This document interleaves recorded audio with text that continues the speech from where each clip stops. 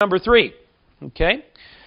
What is the opposite of everything we're doing now? Opposite. So let me give you a quick example that we're going to use an illustration for this training illustration. Let's use restaurants, right? The, and, and, and when you owned a restaurant, people came to you to eat. That was a hallmark of the restaurant. People came to you, right? Now the restaurants were physically closed, and now the restaurants had to do the opposite of what they normally did. So normally people would come to you. Now the restaurant needed to come to them wherever they are, their home, their place of business, whatever it was. That was the opposite of what they did. And it was interesting because most of the restaurants that the vast majority of the people came in, right? The, you know, the people came to them, didn't really have a strong infrastructure of how to go out.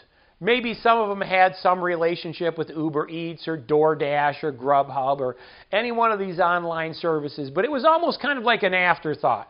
Like, yeah, we do it, but that's so you know responsible. If you look at a Chili's or any of the national, uh, you know, the national brands, you're talking single digits of actual carryouts as compared to the people that eat there. So if they put through a thousand meals on a Friday night, you might have you know probably less than a, less than 10 or 20 or 30, but a relatively single digit percentage that actually is the, is the carryout in the normal way. But keeping in mind, a lot of these things couldn't even do carryout. You physically couldn't go to the restaurant. You had to get the Uber Eats or the DoorDash or the Grubhub. So you couldn't physically go there. You'd have to order online, and then they would bring it to you. But it was interesting because I've got many restaurants that are my clients, and, and we were talking about the pivot, right? And they're calling like, oh my God, what do we do? How do I keep in business now when I'm facing you know, single digits of what I did last week. Last week I did, you know, 100 people on a Friday night, right? Now we did 10 carryouts. How do I survive? But you know what the real issue was? And I found this to be fascinating. They were not geared up with the carryout you, things they needed, the carry out stuff they needed. They didn't have lots of styrofoam, you know, little clamshell things. They didn't have lots of cups and lids and napkins and plastic knives and plastic forks. Why? Because the carry out was such a small portion of their business. They really never thought that seriously about it. Therefore, they never really kept a huge stockpile. Now everyone was scrambling to get the same thing. When everybody closed out, now everybody needs lots of clamshell styrofoams and cups and paper this and plastic that and plastic knives and forks and napkins and all of the carry-out type bags, right? All the things that they would normally use in carry-out. Why? Because now they're forced to do the opposite of what they did, right? Think of it in-person meetings, networking groups right? Where, where the value of the networking group was everybody coming together in a room, right?